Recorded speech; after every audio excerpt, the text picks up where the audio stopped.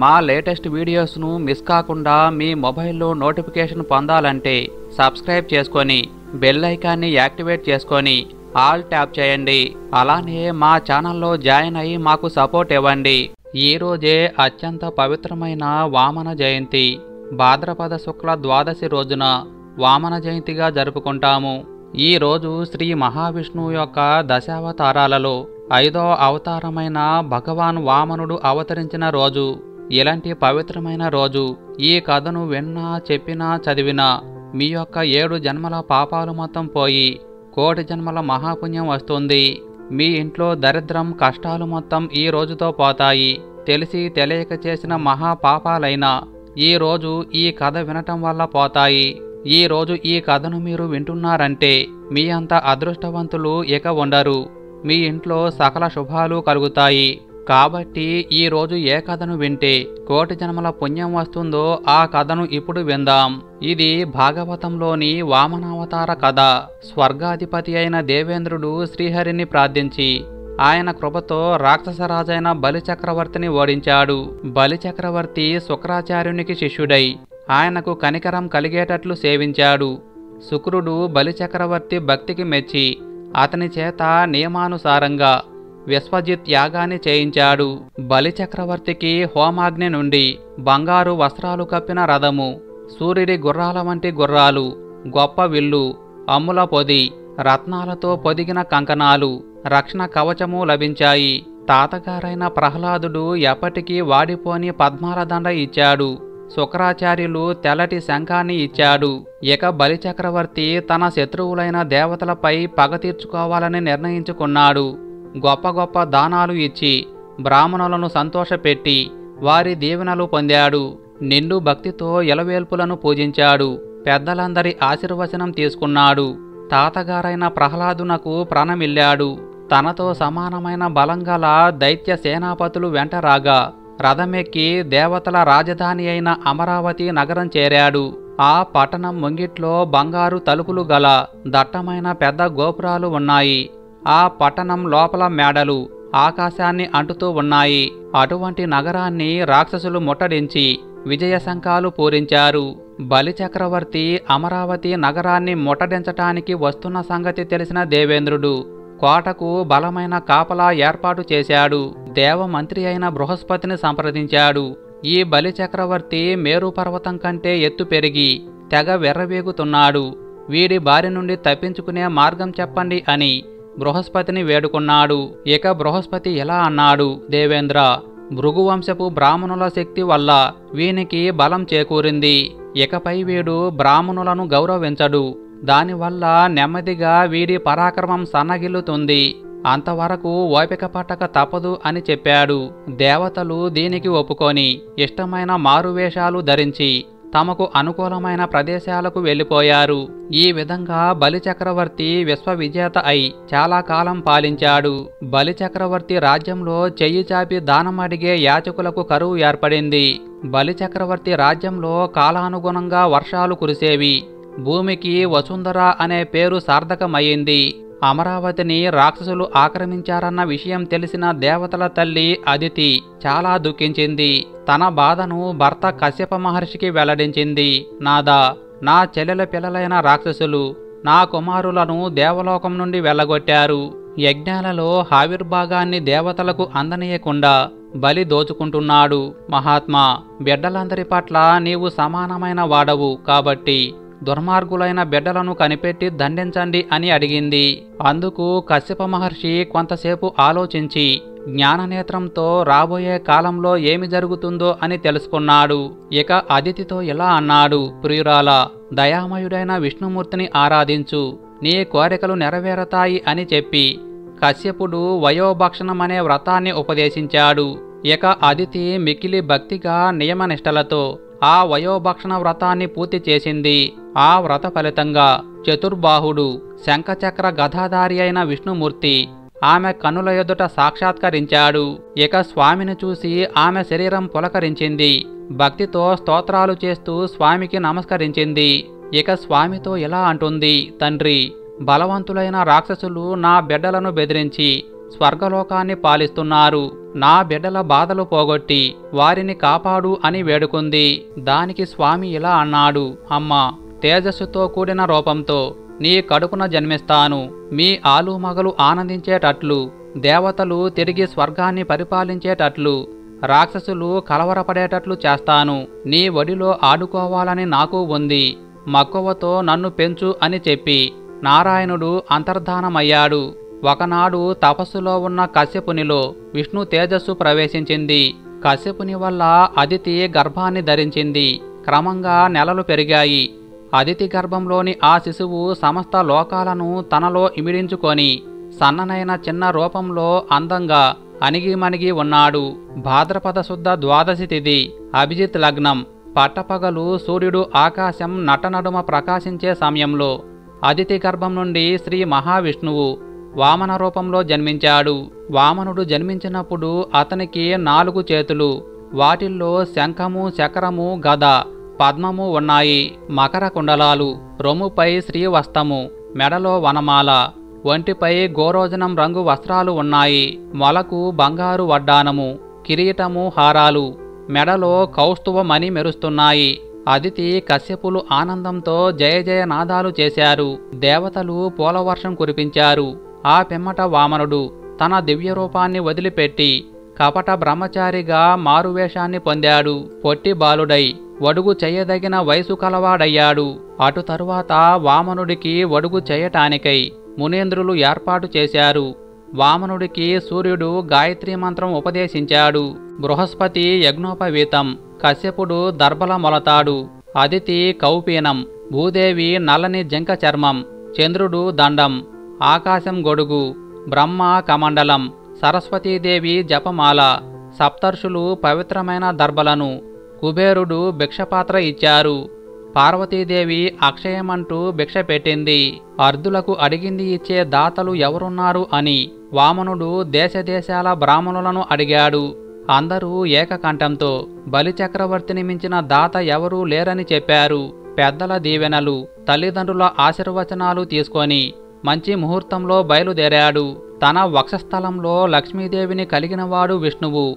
అయినా కూడా అతను ఇంద్రుని కోసం బలిని భిక్షమడగటానికి బయలుదేరాడు. ఇతరులకు మేలు చేసే ఉద్దేశంతో బెచ్చమెత్తటం కూడా గొప్పవారికి ఒక అలంకారమే. వామనుడు నర్మదా నదిని దాటి బలిచక్రవర్తి యాగశాల వద్దకు చేరాడు. అక్కడ నుండి ఆ పొట్టి బ్రహ్మచారి బలిచక్రవర్తి సభామండపంలో చేరాడు. ఆ సభను ఆకర్షించాలనుకొని అక్కడే కాసేపు తిరిగాడు. కొందరితో కలిసి వేదాన్ని చదివాడు. కొందరితో వాదించాడు. కొందరితో నవ్వుతూ ముచ్చడించాడు తడబడుతూ కలవరపడుతూ దానవ చక్రవర్తిని సమీపించాడు. దర్భలతో అక్షతలతోనూ పవిత్రమైన కుడి చెయ్యి చాచి వామనుడు బలిచక్రవర్తితో ఇలా అన్నాడు. ముల్లోకాలను శాసించే అధికారం కలవాడా. అవలేలగా దేవేంద్రుణ్ణి వెలవెలా పోయేటట్లు చేసినవాడా. యోగా కార్యక్రమాలలో విహరించేవాడా? సమస్త రాక్షసలోక సార్వభౌమ నీకు శుభం కలుగుగాక అని అన్నాడు. దానికి చక్రవర్తి వామనుడితో ఇలా అన్నాడు ఓ బ్రహ్మచారి నీ పేరేమిటి? నీ తల్లిదండ్రులెవరు? నీవు రావటం వల్ల నా జన్మ నా వంశం సఫలమయ్యాయి. నీకేమి కావాలి? ధనమా సంపదల? పొలాల భూభాగమా? ఇంకేమైనా కావాలా కోరుకో అన్నాడు. చక్రవర్తి పలుకులకు సంతోషించిన వామనుడు ఇలా అన్నాడు ఇది నా చోటు అని ఎలా చెప్పేది? నేను ఒకచోట కాక అన్ని చోట్ల ఉంటాను. ఎవరికి చెందినవాడనని చెప్పను. అందరూ నా వాళ్ళే. కాని నేను ఒంటరి వాడిని. మీ పూర్వీకులు గొప్పవాళ్ళు. యుద్ధం చేయటానికి దానమివ్వటానికి మీ వంశంలో ఎవరూ వెనుకాడలేదు. దానమివ్వటంలోనూ సుగుణాలలోనూ నువ్వు కూడా మీ పూర్వీకులకు సమానమైన వాడవు. నాకు సొమ్ములు భూములు అక్కర్లేదు. మూడు అడుగుల నేల మాత్రం ఇయ్యి చాలు అని అనగానే బలిచక్రవర్తి ఇలా అన్నాడు. నువ్వు అన్న మాటలు ఒప్పుకోవలసిందే. కాని అడిగేటప్పుడు దాత గొప్పతనాన్ని అతని సంతోషాన్ని కూడా తలంచవద్దా? నీకు అడగటం తెలియక మూడు అడుగుల నేల మాత్రం అడిగావు. చక్రవర్తినైన నేను ఇంత తక్కువ ఎలా ఇస్తాను అన్నాడు. ఈ విధంగా పలికిన బలిచక్రవర్తితో వామనుడు ఇలా అన్నాడు అయ్యా నేను బ్రహ్మచారిని. నాకు గొడుగు జందెము కమండలం మొలత్రాడు. యోగాదండం మాత్రం అవసరం. అంతేకాని భూములతో ధనంతో సంపదలతో నాకు పనిలేదు ఆశ అనేది అంతులేని త్రాడు వంటిది. నేను కోరినట్లుగా నాకు ఆ మూడు అడుగుల చోటిస్తే చాలు. అదే నా పాలిట బ్రహ్మాండం. సంతోషం కలవాడికి ఎల్లప్పుడూ సుఖం కలుగుతుంది.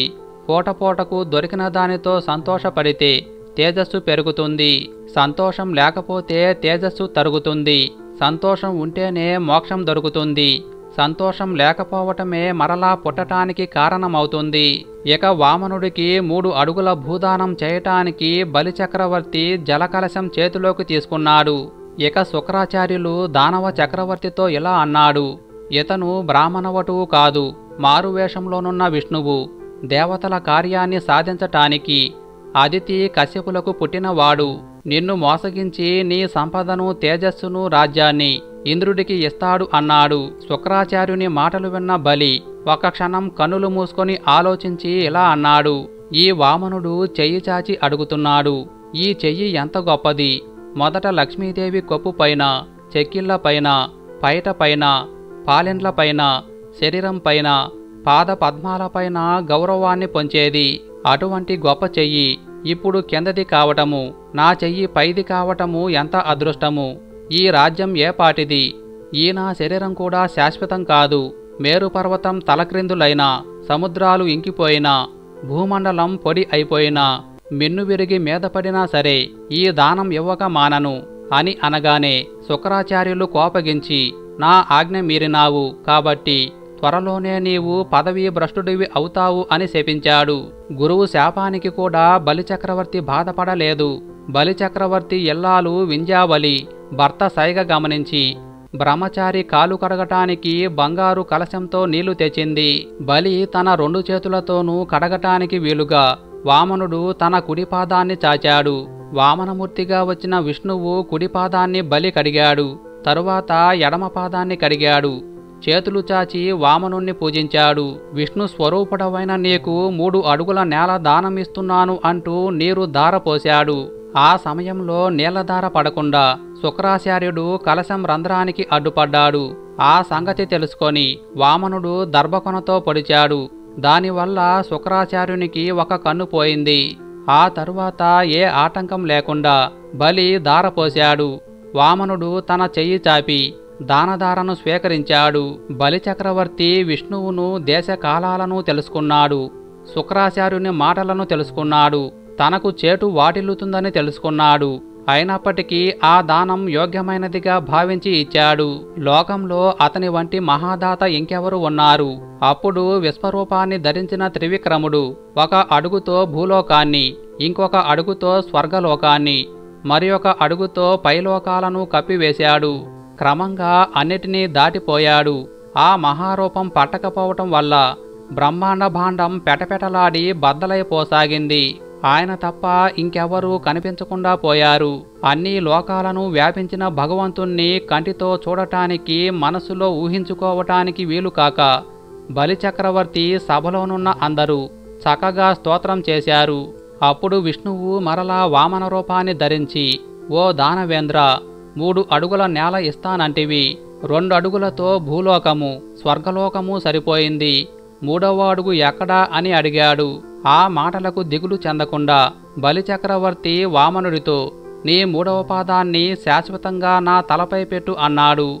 ఆ సమయంలో బలిచక్రవర్తి తాతగారైన ప్రహ్లాదుడు వచ్చి వరుణపాశంతో కట్టివేయబడిన బలిని చూసి విష్ణువును ప్రార్థించాడు. బలిచక్రవర్తి భార్య వింజావలి స్వామి నా భర్త తన సర్వస్వాన్ని మూడు లోకాల రాజ్యాన్ని నీకు దారగా పోశాడు. అటువంటి వానిని ఎందుకు బంధించినావు? నాకు పతిభిక్ష పెట్టు అని స్వామిని ప్రార్థించింది. అప్పుడు బ్రహ్మదేవుడు కూడా వచ్చి ఇతను శిక్షింపదగినవాడు కాదు ఎందుకంటే నీవు విష్ణుమూర్తి అని తెలిసినా కూడా నీకు దానం ఇవ్వటానికి వెనుకాడలేదు. అతనిని విడిచిపెట్టు అని ప్రార్థించాడు. అప్పుడు భగవంతుడు ఇలా అన్నాడు ఎవరిపై నేను దయ చూపించాలనుకుంటాను? అటువంటి వాని సంపదను హరిస్తాను. ఇతను పుణ్యాత్ముడు ఐశ్వర్యాన్ని కోల్పోయిన గురువు శాపానికి గురైన సత్యాన్ని వదలకుండా మాయను గెలిచాడు. ఇతను మహనీయుడు రాబోయే సావర్ణి మనువు కాలంలో ఇతను దేవతలకు ప్రభువై దేవేంద్రుడు అవుతాడు. అంతవరకు ఇతను సుతల లోకంలో దానవుల సేవలు అందుకుంటూ ఐశ్వర్యంతో పెంపొందుతాడు. ఆ లోకాన్ని రోగాలు ఆపదలు దుఃఖాలు లేకుండా విశ్వకర్మ సృష్టించాడు. తరువాత బలి చక్రవర్తిని ఉద్దేశించి ఇలా అన్నాడు ఓ బలి మహారాజా నీ త్యాగం శ్రేష్టమైనది నీకు మేలు జరుగుతుంది. అటువంటి లోకంలో నీవు ఉండు. నీ ఆజ్ఞ మీరిన రాక్షసులను నా చక్రం నరుకుతుంది. నిన్ను నేను ఎల్లప్పుడూ రక్షిస్తుంటాను. బలి చక్రవర్తి విష్ణువుకు బ్రహ్మకు శివునకు నమస్కరించాడు. బంధం నుండి విడుదల పొంది తన కుటుంబంతోనూ పరివారంతోనూ కలిసి స్వతల లోకానికి వెళ్ళటానికి తయారయ్యాడు. ప్రహ్లాదుడు స్వామికి నమస్కరించి చేతులు జోడించి సెలవు తీసుకున్నాడు. అటు పిమ్మట ప్రహ్లాదుడు బలిచక్రవర్తిని రాక్షస సమూహాన్ని వెంట పెట్టుకొని ఒక గొప్ప గుహద్వారం గుండా సుతల లోకానికి చేరాడు. విష్ణువు ఆజ్ఞతో శుక్రాచార్యుడు బలి చక్రవర్తి మొదలుపెట్టిన యజ్ఞాన్ని పూర్తి చేశాడు. విష్ణువు బలి నుండి తీసుకున్న సంపదను స్వర్గలోకాన్ని తన అన్నగారైన దేవేంద్రుడికి ఇచ్చివేశాడు. ఈ విధంగా సంపదను స్వర్గలోకాన్ని దేవేంద్రుడు తిరిగి పొందాడు. అద్భుతమైన లీలతో కూడిన విష్ణువును గురించి తెలిపే ఈ పుణ్యచరిత్రను వినేవారు గొప్ప భాగ్యవంతులవుతారు. ఈ కథను ఈరోజు ఎవరైతే వింటారో వారు ఎల్లప్పుడూ సుఖాలు అనుభవిస్తారు. చివరకు స్వర్గాన్ని పొందుతారు. ఎలాంటి పాపాలైనా నశిస్తాయి. ఆదివారం రోజు ఎవరైతే ఆదివార వ్రతం కథను వింటారో చెప్తారు. అలానే వినిపిస్తారు. వారికి జీవితంలో రోగం రాకుండా దారిద్ర్యం రాకుండా ఆ సూర్యభగవానుడు దీవిస్తాడు. అంతేకాదు జీవితంలో వారికి పేదరికం రానే రాదు. మరి ఈ రోజు తప్పక వినవలసిన ఆదివార వ్రతం కథ ఏంటో ఈ వీడియోలో తెలుసుకుందాం. ఆ ప్రత్యక్ష భగవానుడైన సూర్యనారాయణుడికి ప్రీతికరమైనది ఆదివారం. ఆదివారం రోజు ఆయన్ను ఆరాధించటం వల్ల అనంతమైన ఫలితాలు లభిస్తాయని శాస్త్రాలు చెప్తున్నాయి. ఏడాదిలోని ప్రతి ఆదివారం కూడా ఆయనకు ఎంతో ప్రీతికరమైనది. ఒక గ్రామంలో లక్ష్మీదేవమ్మ అనే ఆమె ఉండేది. ఆమె ప్రతి ఏటా విడవకుండా ఆదివార వ్రతాలు ఆచరించేది.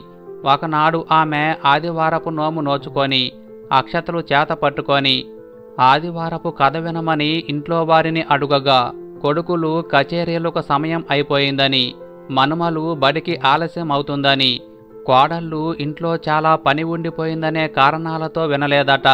అప్పుడామె ఊళ్ళోకి వెళ్ళి అలా అలా అందర్నీ అడుగుతుండగా ఎవరి కారణాలు అవకాశాలు వారు చెప్పి తప్పించుకున్నారట. చివరికి ఆమె ఊరి చివరన ఒక గుడిసెలో ఉంటున్న ఒక గర్భిణీ దగ్గరకు వెళ్ళి కథ వినమందట. దానికి ఆ గర్భిణి నాకు పరమాన్నం తినాలని ఉంది అది పెడితే వింటాను అందట. సరేనని ఆ లక్ష్మీదేవమ్మ సూర్యదేవుడికి నైవేద్యంగా పెట్టిన పరమాణాన్ని పట్టుకెళ్ళి ఆమెకి పెట్టి కథ చెబుతూ ఉండగా ఆ గర్భిణి సోదెమ్మ నిద్రపోయిందట. కథ పూర్తయింది. చేతులలో ఉన్న అక్షంతలు నిద్రపోతున్న ఆమెపై ఎలా వేస్తాను అనుకొని సులభంగా ప్రసవించి తల్లి బిడ్డ క్షేమంగా ఉండేటట్లు ఆశీర్వదించు తండ్రి అంటూ ఆ సూర్యదేవుణ్ణి ప్రార్థించి అక్షతలు ఆమె కడుపుపై చల్లి ఇంటికి వెళ్ళిపోయిందట. కొన్నాళ్ళకు ఆ సోదమ్మకు ఒక ఆడపిల్ల పుట్టి దినదినాభివృద్ధి చెందుతూ అత్యంత అందగత్తిగా రూపుదాల్చిందట ఒకనాడు రాజుగారు ఆ దారిన వెళ్తూ అందాల బొమ్మ అయిన ఆమెను తనకెమ్మని అడిగి సవారీ ఎక్కించుకొని తన రాజ్యానికి తీసుకువెళ్ళిపోయాడట. ఆమె వెళ్ళిన దగ్గర నుండి ఆ రాజ్యంలో విపరీతంగా పంటలు పండసాగాయి. అప్పటి వరకు పిల్లలు లేని రాణికి పుత్రుడు కలిగాడు. పాడుపడిపోయిన గ్రామాలు బాగుపడి పట్నాలయ్యాయి కొన్నాళ్ళయ్యాక రాజు ఆమెను పెండ్లి చేసుకున్నాడు. ఈ వైభవం అంతా ఆమె గర్భంలో ఉండగా ఆదివారపు కథ వినటం వల్ల సూర్యదేవుని ప్రసాదం తన తల్లి ద్వారా తాను ఆరగించటం వల్ల ప్రసాదించినట్లుగా తెలుసుకొని ఈ నోము నోచితే ఇంకెంత ఫలితం లభిస్తుందో కదా అని ఆలోచించి తన జీవితాంతము నోచుకునేదట. ఈ నోము ఉద్యాపన ఎలా చెయ్యాలంటే ఐదేళ్ళ పాటు ఈ నోము నోచాక మొదటి సంవత్సరం పాలు తాగకుండా ఉండి సంవత్సరంలో ఐదుగురు ముత్తైదువులకు పరమాన్నం భోజనం పెట్టి దక్షిణ తాంబూలాలు ఇవ్వాలి. రెండవ సంవత్సరం మజ్జిగ తాగకుండా ఉండి ఐదుగురు ముత్తైదువులకు పెరుగుతో భోజనం పెట్టి దక్షిణ తాంబూలాలు ఇవ్వాలి. మూడో ఏట పప్పు తినకుండా ఉండి ఐదుగురు ముత్తైదువులకు బూరెలతో భోజనం పెట్టి దక్షిణ తాంబూలాలు ఇవ్వాలి. నాలుగవ సంవత్సరం తలంటు పోసుకోకుండా ఉండి ఐదుగురు ముత్తైదువులకు తలంటు పోసి భోజనం పెట్టాలి. దక్షిణ తాంబూలాలు మామూలే. ఇక ఆఖరి సంవత్సరం తాంబూలం వేసుకోకుండా ఉండి ఐదుగురు ముత్తైదువులకు తాంబూలం ఇవ్వాలి. ఐదుగురు పుణ్యశ్రీలకు రవిక బట్టలను ఉగ్గి గిన్నెను ఉయ్యాలను చీరను ఇవ్వాలి. ఆదినారాయణుడికి ఐదు మూరల అంగవస్త్రాన్ని ఇవ్వాలి. ఇదిలా ఉండగా ఈ వ్రతానికి సంబంధించిన ఇంకొక కథ ఉంది. ఒక ముసలి అవ్వ ఉజ్జయిని నగరంలో ఉండేది. ఆమె సూర్యభగవానుణ్ణి పూజ చేస్తూ ఉండేది. గోమయంతో అలికి ముగ్గులు పెట్టి సూర్యదేవుణ్ణి ఆరాధిస్తూ ఆదివారాల్లోనూ ఉపవాసాలు నోములు నోచుకునేది. ఈ వ్రతాన్ని ఆచరించటం వల్లే అవ్వ ఆరోగ్యంగానూ సుఖంగానూ ఉందని ఈర్ష్యపడి ఆ చుట్టుప్రక్కల వారు ఆమెకు తన ఇళ్ళ నుండి గోమయాన్ని ఇవ్వటం మానేశారు. ఇక ఒక ఆదివారం నాడు గోమయం కోసం తిరిగి అలసిపోయి ఏమీ తినకుండానే నిద్రపోయింది. మర్నాడు తెల్లవారుజామునే లేచి చూసేసరికి ఇంటి ముందే ఆవు దర్శనమిచ్చింది. ఇక ఆ గోవును పూజిస్తూ గోమయాన్ని ఉపయోగించుకుంటూ సూర్యదేవుణ్ణి ఆరాధిస్తూ హాయిగా ఉండేది. ఈ విషయం ఆ ప్రాంతంలో ఒకరికి తెలిసి ఆవును తోలుకొని పోయారు.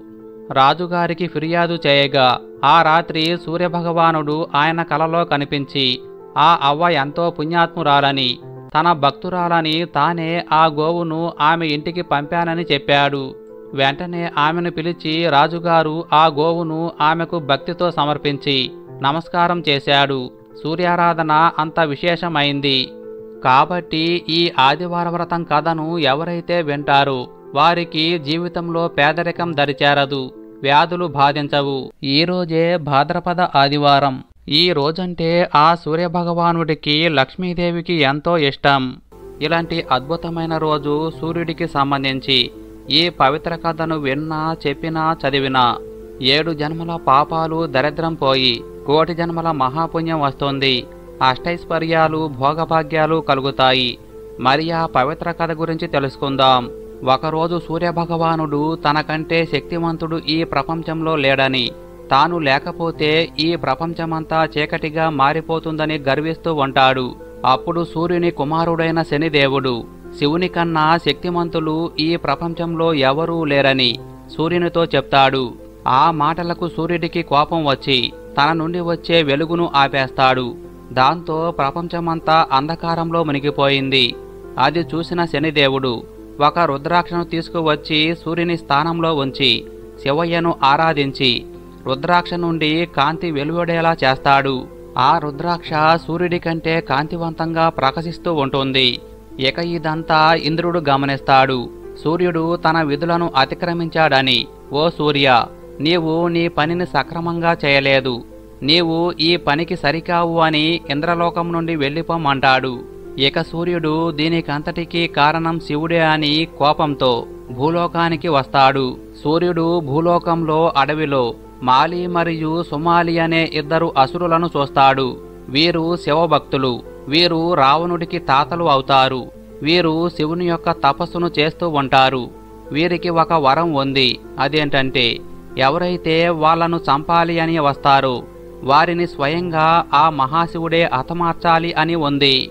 ఇక శివుడి మీద కోపంతో సూర్యుడు వారిని చంపబోగా ఆ మహాశివుడు ప్రత్యక్షమై తన త్రిశూలంతో సూర్యుణ్ణి హతమార్చుతాడు. ఇక సూర్యుడు నల్లగా మారుతూ ఉంటాడు. ఆయన తండ్రి బ్రహ్మ మానసపుత్రుల్లో ఒకరైన కశ్యప మహర్షి నీవు నా కుమారుణ్ణి ఎలాగైతే చంపావో అలాగే నీ కుమారుణ్ణి చంపుతావు అని శపించాడు. అప్పుడు శివుడు ఇలా అంటాడు కశ్యప మహర్షి శాంతించు. నేను సూర్యుణ్ణి తాత్కాలికంగా మాత్రమే సంహరించాను. శాశ్వతంగా కాదు సూర్యుడిలో ఉన్న గర్వాన్ని అణసివేశాను. అంతేకాని సూర్యుణ్ణి కాదు. అని చెప్పి సూర్యుడికి పునర్జన్మను ఇస్తాడు. ఆ తరువాత యథావిధిగా సూర్యుడు తన ప్రకాశాన్ని సృష్టికి అందిస్తూ ఉంటాడు. ఆ విధంగా సూర్యుడి గర్వాన్ని అణచి సృష్టి కార్యాన్ని యథావిధిగా చేసేలా ఆ మహాశివుడు చేశాడు. అలాగే ఆ సూర్యభగవానుడి మహిమను తెలిపే ఒక అద్భుత కథను ఇప్పుడు తెలుసుకుందాం. పూర్వకాలంలో ఒక ముసలావిడ ఉండేది. ఈమె సూర్యభగవానుడి భక్తురాలు. ఈమె ప్రతి ఆదివారం ప్రొద్దున్నే లేచి స్నానం చేసి గోవు పేడ తెచ్చి వాకిలి అలికి పూజ చేసి సూర్యుడికి ప్రసాదం పెట్టి ఆమె ఒక్కపూట మాత్రమే అన్నం తినేది. ప్రతి ఆదివారం ఇలానే చేసేది. సూర్యదేవుడి కృపతో ఆమె ఇంట్లో ఏ సమస్య లేకుండా సుఖ సంతోషాలతో ధనధాన్యాలతో సుఖంగా ఉండేది. ఈమె పక్కింటావిడకు ఈమెను చూస్తే చాలా ఈర్ష్య కలిగేది. ముసలావిడ రోజు పక్కింట్లో కట్టేసి ఉన్న గోవు పేడను తెచ్చి వాకిలి అలికేది. ఒక శనివారం రాత్రి పక్కింటావిడ గోవును ఇంట్లో లోపల కట్టేసుకుంది. ఈ ముసలావిడకు పేడ దొరకకుండా చెయ్యాలని ఆమె అలా చేసింది. మరుసటి రోజు పేడలేని కారణంగా వాకిలి ఖాళీగా ఉంది. ముసలావిడ వ్రతం చేయలేదు. భగవంతునికి ప్రసాదం పెట్టలేదు. ఆమె కూడా ఆ రోజంతా తినలేదు. ఆమెకు కలలో సూర్యభగవానుడు కనిపించి ఎందుకు వ్రతం చేయలేదు? అని అడిగాడు. దానికి ఆమె జరిగిందంతా చెప్పింది. దానికి జరిగిందంతా సూర్యభగవానుడు ఆలకించి ఆమెకు ఎంతో సుందరమైన గోవును దాని బిడ్డను ఈమెకు ప్రసాదిస్తున్నట్లు కనిపిస్తుంది. ప్రొద్దున్నే లేచి చూస్తే ఎంతో ముద్దుగా ఉన్న గోవు దాని బిడ్డ ఉన్నాయి. పక్కింటావిడ ఈ గోవును బిడ్డను చూసి ఇంకా రగిలిపోతుంది. మరుసటి రోజు ఉదయం గోవును చూస్తుంది పక్కింటావిడ. చూస్తుండగానే ఆవు బంగారు పేడ పెడుతుంది. అది చూసిన పక్కింటావిడ ముసలావిడ లేవకముందే పరుగున వెళ్ళి ఇంట్లో గోవు పేడను అక్కడ పెట్టి బంగారు పేడను తెచ్చుకునేది. ప్రతిరోజు ముసలావిడ లేవకముందే లేచి బంగారు పేడను తెచ్చుకొని కొన్ని రోజులకు ఎంతో ధనం పొందుతుంది. అసలు బంగారు పేడ గురించి తెలియని ముసలావిడ ఒకరోజు ఎందుకో గోవును ఇంట్లో కట్టేసుకుంటుంది. ఉదయం అది బంగారు పేడను పెట్టటం చూసి ఆశ్చర్యపోతుంది. అలాగే ముసలావిడ కూడా ధనవంతురాలు అయిపోతుంది. ఇదంతా చూసిన పక్కింటావిడకు ఒళ్ళు మండి. తన భర్తకు ఈ గోవు గురించి చెప్పి రాజుగారికి ఈ గోవు గోవు యొక్క బంగారు పేడ గురించి చెప్పమని. ఇలాంటి గోవు ఉంటే రాజుగారి వద్ద ఉండాలి కాని ముసలావిడ వద్ద కాదని చెప్తుంది. ఇక పక్కింటావిడ భర్త రాజుగారి వద్దకు వెళ్ళి జరిగింది చెప్తాడు. ఇక రాజుగారు గోవును దాని బిడ్డను తీసుకుని రమ్మని ఆదేశిస్తాడు. గోవు బంగారు పేడ వేయటం చూసి ఆశ్చర్యపోయాడు. ముసలావిడ ఎంత బ్రతిమలాడినా వినకుండా లాక్కొని వెళ్ళిపోతాడు. ముసలావిడ నిద్రాహారాలు మాని ఏడుస్తూనే ఉంటుంది. సూర్యభగవాను ప్రార్థిస్తూ తలడిల్లిపోతుంది. ఆమె పరిస్థితి చూసిన సూర్యభగవానుడు రాజుకు కలలో కనిపించి హే రాజా ఆ ముసలావిడ గోవును దాని బిడ్డను ఆమెకు ఇచ్చేయి. ఆమె నా భక్తురాలు. ఆమె ఎంతో బాధపడుతుంది. పంపకపోతే నా ఆగ్రహానికి గురి అవుతావు అని చెప్పాడు. ఉదయం లేచి రాజు భయంతో భక్తితో ఆమె గోవును బిడ్డను ఆమెకు ఇచ్చిరమ్మని పంపించాడు. అప్పటి నుండి ఆమె ఎంతో సంతోషంగా ఆదివార వ్రతం చేస్తూ సంతోషంగా జీవించసాగింది. ఇటు రాజు కూడా రాజ్యంలో అందరూ ఆదివార వ్రతం చెయ్యాలని ఆదేశిస్తాడు. అప్పటి నుండి ఆదివారం రోజు ఆ రాజ్యంలో ప్రజలందరూ సూర్యభగవాను భక్తితో పూజిస్తూ ఉంటారు. దాని ద్వారా రాజ్యంలో ఎలాంటి సమస్యలు లేకుండా ధన ధాన్యాలతో సుఖ సంతోషాలతో సంతానం లేని వారికి సంతానం కలిగింది. శారీరక కష్టం తొలగిపోయింది. ఆ రాజ్యంలో వారంతా ధనవంతులై సుఖంగా జీవించారు. ఆ రాజ్యంలో చూద్దామన్నా ఒక పేదవాడు కూడా కనిపించలేదు. ఒకరోజు ఈ దేశపు రాజు రథంపై పొరుగు రాజ్యం వెళ్తూ ఉంటాడు. అక్కడ ఒక వంతెన వస్తుంది. అదే సమయానికి ఇంకొక రాజు కూడా అదే వంతెన దగ్గరకు వచ్చి రథం ఆపుతాడు. ఒక రాజు రథం వెనక్కి వెళ్తే కాని రెండవ రథం ముందుకు వెళ్ళే వీలు లేదు. రథసారథులిద్దరూ నీ రథం వెనక్కి తీసుకోమంటే లేదు నీదే వెనక్కి తీసుకువెళ్ళు అని వాదించుకోవటం మొదలుపెట్టారు. ఇద్దరు రాజులు ఏం జరుగుతుందో అని చూస్తూ ఉన్నారు. చివరకు ఇద్దరు సారథులు ఒక ఒప్పందానికి వచ్చారు. వాళ్ళు తమ రాజుల గొప్పతనం చెప్పేటట్లు. ఏ రాజు గొప్పవాడో? ఆ రాజు ముందు దారి ఇచ్చేటట్లు ఒప్పందం చేసుకున్నారు. ఇక అవతలి రాజు సారథి ఇలా అన్నాడు. మా రాజ్యంలో మా రాజుగారు రోజుకి వంద మంది అభాగ్యులకి ఆకలితో ఉన్నవారికి భోజనం ఏర్పాటు చేసి కాని వారు భుజించరు. గుడ్డలు లేని వారికి రోజుకు ఐదు వందల మందికి వస్త్రదానం చేస్తారు. అనాథ శరణాలయాలు వృద్ధాశ్రమాలు స్థాపించారు అని అన్నాడు. ఇక అవతలి రథసారథి తలదించుకొని కంట నీరు పెట్టుకొని తన రథం వెనక్కి తీయటానికి సిద్ధమయ్యాడు. దానికి అవతలి రాజు ఇలా అడిగాడు ఏమయ్యా మీ రాజుకి దానగుణం లేదా? అలా ఏమీ చెప్పకుండా రథం వెనక్కి తిప్పుకుంటున్నావు అన్నాడు. దానికి ఇటువైపు ఉన్న సారథి వినయంగా ఇలా అన్నాడు హే రాజా మా రాజుగారు దానం చేస్తుండగా చూసే అదృష్టం మా రాజ్యంలో ఎవరికీ కలగలేదు. మా రాజ్యంలో దానం చేద్దామంటే సామాన్యులమైన మాకే ఒక్క దీనుడు కూడా కనపడలేదు. వృద్ధాశ్రమాల్లో ఉండాల్సిన అవసరము ఏనాడు ఎవరికీ కలగలేదు. అనాథ శరణాలయాలతో అవసరమే లేకుండా పోయింది. ఇక మా రాజుగారికి అవకాశం ఎలా ఉంటుంది? దానం చేసే అవకాశం అవసరం. మా రాజ్యంలో లేదు ప్రభు అని అన్నాడు. అది విన్న అవతలి రాజు వెంటనే రథం దిగి రెండవ రాజుకు పాదాభివందనం చేసి తన రథం వెనక్కి తీయించి దారి ఇచ్చాడు. కాబట్టి వేల వృద్ధాశ్రమాలు రాయితీలు సంక్షేమ పథకాలు ఉచితాలు అభాగ్యులకు సేవలు ఆశించే పౌరులున్న ఏ దేశము మంచి పాలనలో ఉన్నట్లు కాదు. కాబట్టి ఎంతో పవిత్రమైన ఈ కథను విన్నా చెప్పినా చదివినా జన్మల పాపాలు దరిద్రం పోయి కోటి జన్మల మహాపుణ్యం వస్తుంది. ఆ సూర్యభగవానుడి ఆశీర్వాదం కలుగుతుంది. పూర్వం ఒక భేదవాడు ఉండేవాడు. అతను ప్రతి ఆదివారం సూర్యనారాయణమూర్తిని భక్తి శ్రద్ధలతో పూజించేవాడు. కానీ అతని పూర్వజన్మ కర్మఫలం వల్ల అత్యంత భేదవాడిగా జీవిస్తున్నాడు. ఇక సూర్యభగవానుడు అతని కష్టాలను తీర్చబోతున్నాడు. అతని కష్టకాలం ముగిసింది. ఇక్కడ జరిగిన విచిత్రం వింటే మీరు ఆశ్చర్యపోతారు. ఆ భేదవాడు ఒక రోజున ఒక మామిడి తోట గుండా పోతూ ఉన్నాడు. అతనికి మూడు రోజుల నుండి ఆహారం లేకపోవటం చేత ఆకలితో బాధపడుతూ ఉన్నాడు. ఆ తోటలో చెట్లకు చాలా మామిడి పండ్లు ఉన్నాయి. ఆ పండ్లు తిని ఆకలి తీర్చుకుందామనే ఉద్దేశంతో ఒక రాయి తీసుకొని చెట్టుపైకి విసిరాడు. ఆ దెబ్బకు రెండు రసములు గల పండ్లు కింద పడ్డాయి. అతను వాటిని తిని తృప్తిపడ్డాడు. ఆ రాయి వేగంగా పండ్లకు తగిలి పైకి పోయి తిరిగి ఎక్కువ వేగంతో కింద పడింది. ఆ పడుటలో ఆ చెట్టు కిందనే ఇంకొక చోట కూర్చున్న రాజుగారి నెత్తిపై పడింది. రాజుగారు భోజనాలు చేసి భార్యలు మంత్రులు నౌకర్లతో పాటు తోటలోకి వచ్చి ఆ చెట్టు నీడన ఇంకొక స్థలమందు ఆటలతో కాలక్షేపం చేస్తున్నారు. కానీ రాజుగారున్న విషయం బేదవాడికి తెలియదు. బేదవాడున్న విషయం రాజుగారికి తెలియదు. రాయి రాజుగారి తల మీద పడి అతని తల పాడయింది ఆ పేదవాడు ఆ విషయాన్ని గమనించలేదు. ఇక చుట్టూ ఉన్న మంత్రులు కనిపెట్టి రాయి వేసిన వానిని వెతికి చెట్టు కింద మామిడి పండ్లు తింటున్న బేదవాణ్ణి పట్టుకున్నారు. వారిలో న్యాయాధిపతి విచారించి వానికి చావు శిక్ష విధించాడు.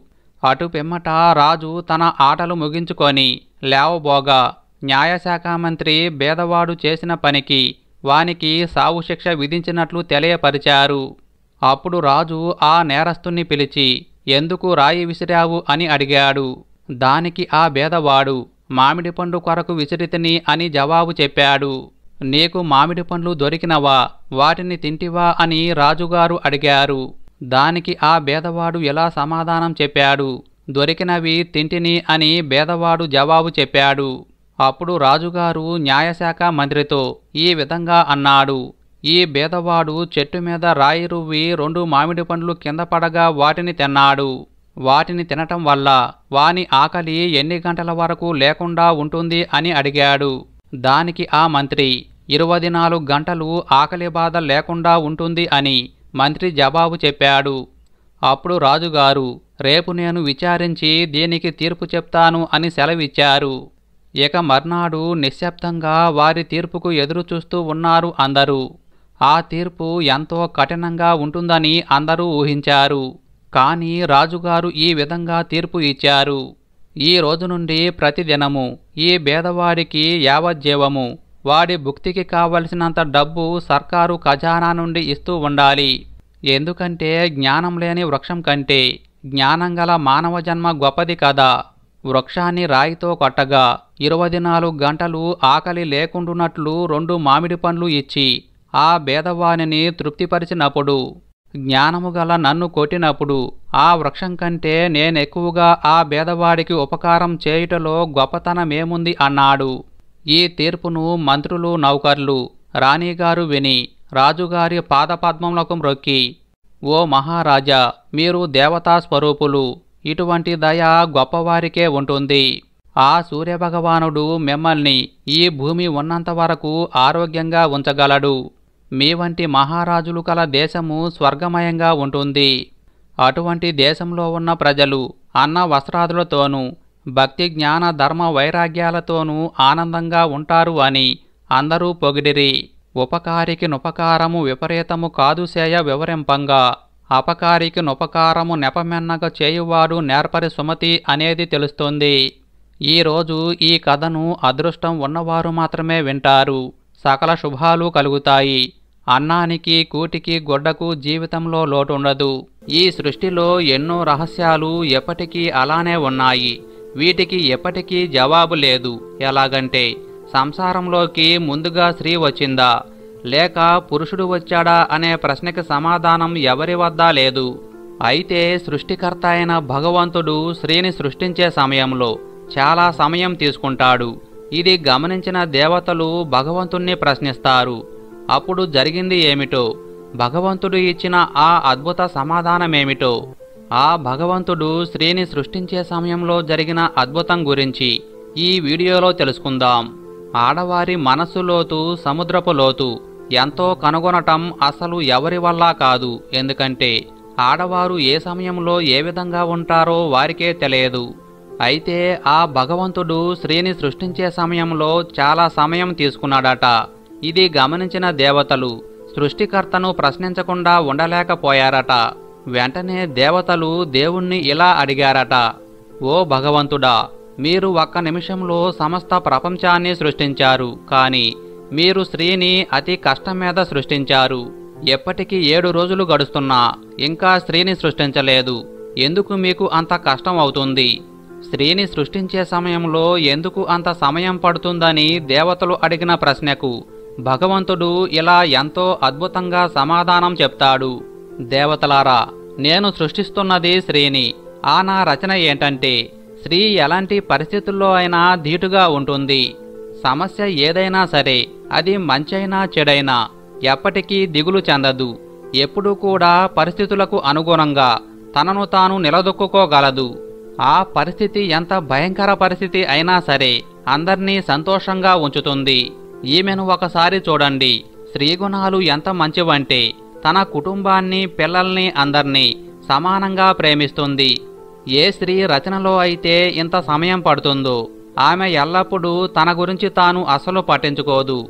ఎలాంటి అనారోగ్యం ఉన్నప్పటికీ పనిచేసే ఓర్పును కలిగి ఉంటుంది. భూదేవంత ఓర్పును ఆమె రచనలో చేయటం జరిగింది. కాబట్టి దేవతలారా ఇప్పుడు నేను చెప్పేది విన్నారు కదా నేను సమయం తీసుకోవాలా వద్దా? ఓ దేవతలారా స్త్రీలో ఎంత ప్రేమను నింపానంటే సమస్త ప్రపంచం ఒకవైపు స్త్రీ ప్రేమ ఒకవైపు పెట్టినా కూడా స్త్రీ ప్రేమలో ఎటువంటి లోటు ఉండదు. ఇదంతా విన్న దేవతలు ఆశ్చర్యపోయి భగవంతునితో ఇలా అంటారు దేవా బాగుంది. కానీ ఇదంతా ఏమే రెండు చేతులతోనే చేస్తుందా అని ప్రశ్నించగా దానికి భగవంతుడు ఇలా చెప్తాడు అవును ఈ కారణంగానే నా ఈ రచన నేను చేసిన అన్నింటికంటే ఎంతో అద్భుతమైనదిగా ఆశ్చర్యకరమైనదిగా ఉంటుంది అంటాడు. ఇదంతా విన్న దేవతలలో ఒకరు. ఆమె దగ్గరకు వెళ్ళి ఆమెను తాకుతాడు. అలా తాకి భగవంతునితో ఇలా అంటాడు. దేవా కాని ఈమె చాలా కోమలంగా ఉంది. ఈమె ఎలా ఇవన్నీ చేయగలుగుతుంది అని ప్రశ్నించగా భగవంతుడు నవ్వి ఇలా అంటాడు. అవును దేవతలారా ఈ స్త్రీ బయట నుండి ఎంత కోమలంగా అనిపిస్తుందో. అంత నిజంగా కోమలం కాదు. శరీరం మరియు స్వభావం నాజుగ్గా ఉంటుంది కానీ లోపల నుండి చాలా దృఢమైనది. దేవతలారా మీరు ఎలా అయితే ఆశ్చర్యపోయారో ఈ సృష్టిలో అందరికీ ఈ స్త్రీరూపం చూసి అంత ఆశ్చర్యం కలుగుతుంది. కానీ ఈ రచనలో ఉన్న గుణాలు ఏంటంటే ఎంత కోమలంగా ఉందో దీనికంటే కోమలంగా ఏ రచన ఉండబోదు. ఈమె అంత దృఢంగా కూడా ఉంటుంది. కానీ అవసరాన్ని బట్టి తనను తాను మార్చుకుంటుంది. చూడటానికి నాజూగ్గా ఉన్నా ఈమెను తక్కువ అంచనా వేయటానికి వీల్లేదు. ఈమె ఎంత నాజూగ్గా కనిపిస్తుందో అంత బలహీనురాలు అయితే మాత్రం కాదు. నేను చేసిన ఈ రచన ఎంతో దృఢమైన రచన అని భగవంతుడు చెప్తాడు. అది విన్న దేవతలు ఎంతో సంతోషించి భగవంతునితో ఇలా అన్నారు దేవా మీరు సృష్టించిన ఈ స్త్రీ ఎంత దృఢమైనది అయినా పురుషుని కంటే బలహీనురాలే అవుతుంది కదా? అలానే ఈ రచన ఆలోచిస్తుందా? అని అడుగుతారు. అప్పుడు భగవంతుడు నవ్వుతూ ఇలా అంటాడు కాదు ఈ రచన పురుషుని కంటే కూడా దృఢంగా ఉంటుంది. ఎందుకంటే ఈమె ఆలోచించే క్షమాగుణమునందు పురుషుడు ఓడిపోతాడు. అలానే ఈ రచన కేవలం ఆలోచించటమే కాదు ఎలాంటి సమస్యనైనా ఎదుర్కొనే ప్రణాళిక వేయగలదు అంటాడు. అప్పుడు దేవతలందరూ ఆశ్చర్యపోతారు.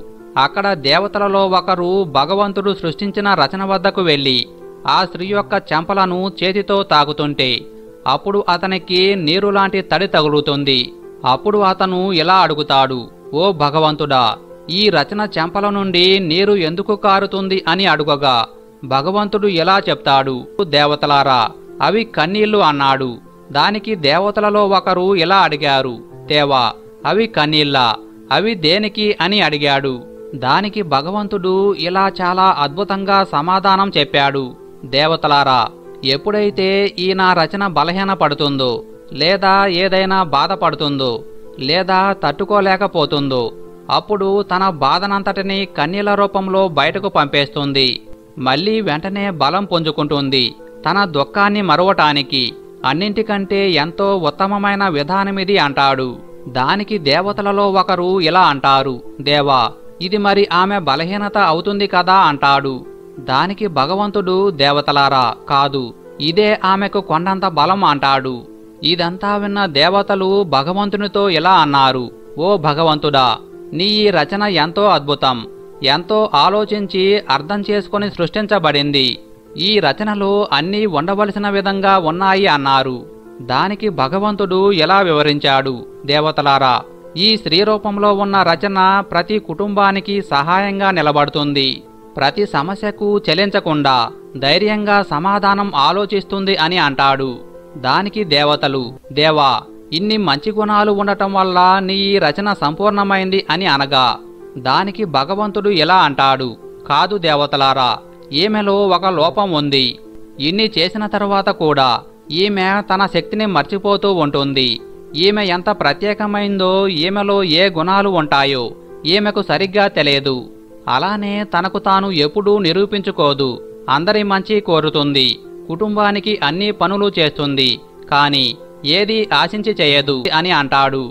కాబట్టి ఇన్ని సుగుణాలు ఇన్ని శక్తులు ఉన్న స్త్రీని అవమానించకుండా కష్టపెట్టకుండా వారిపై ప్రేమను కురిపిస్తే అన్ని శుభాలే కలుగుతాయి.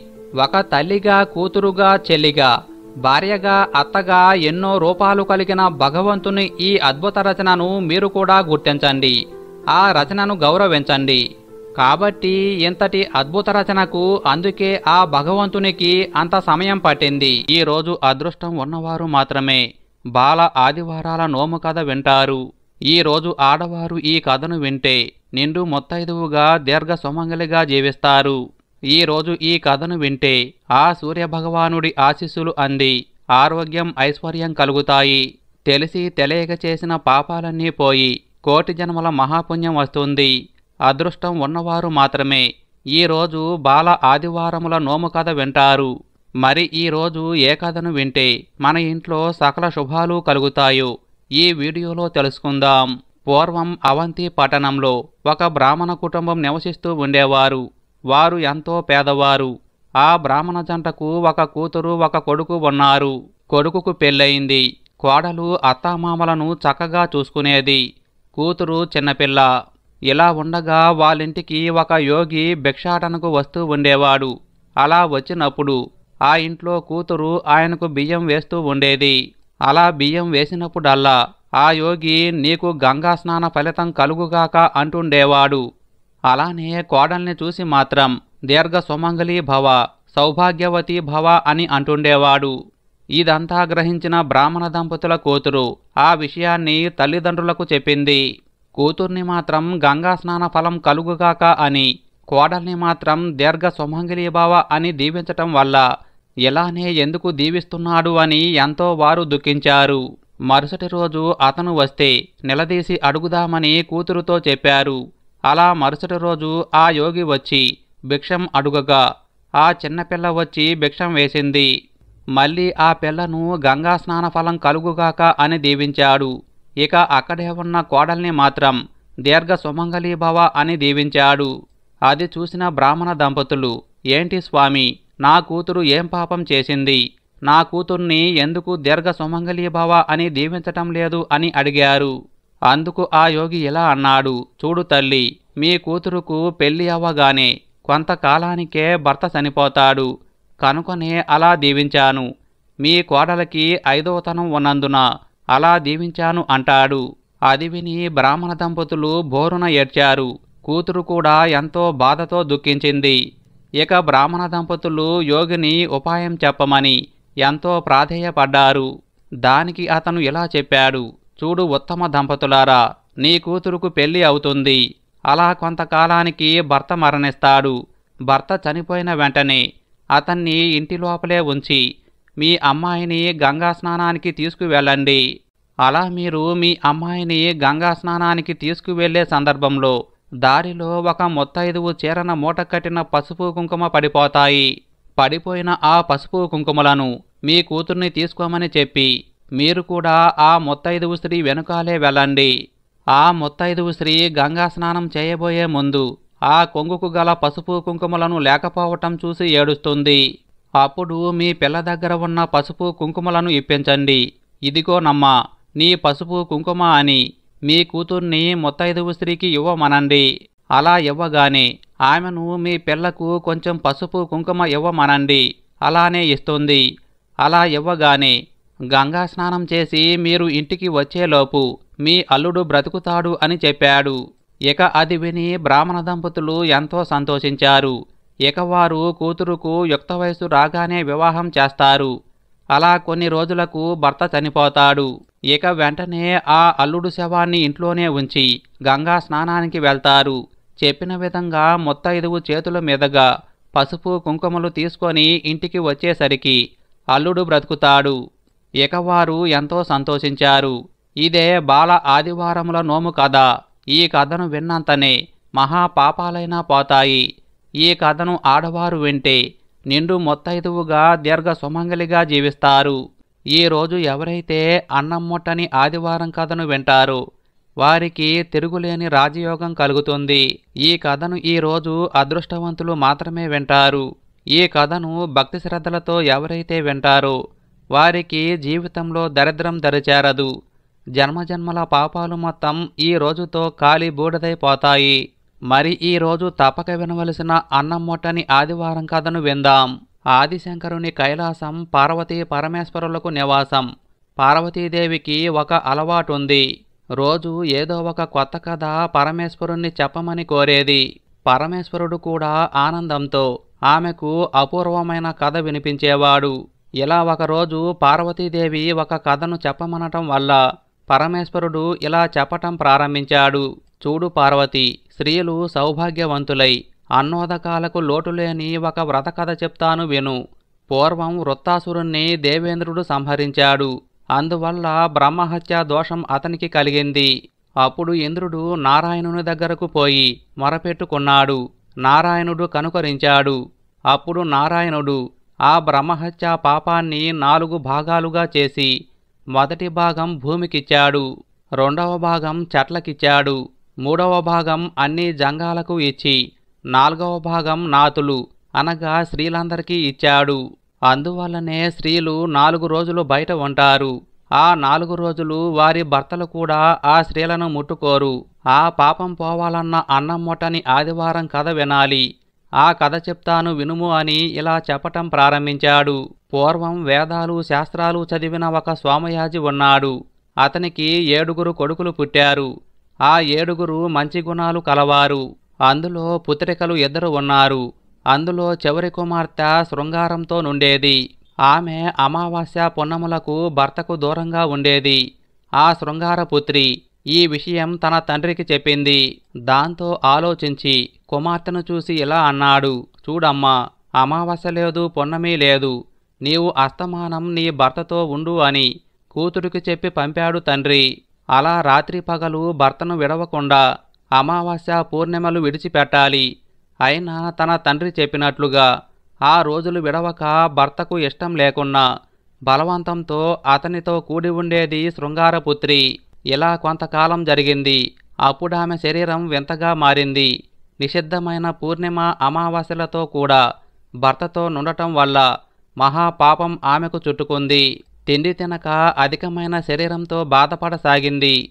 ఈ వార్త తెలిసిన సోమయాజి అతని భార్య ఎంతగానో బాధపడ్డారు. ఇక సోమయాజి ఆరోగ్యం సూర్యభగవానుడే ఇస్తాడని సూర్యభగవాను అనేక విధాలుగా ప్రార్థించాడు. సూర్యదేవ నా కూతురు తమకేమి అపరాధం చేసింది?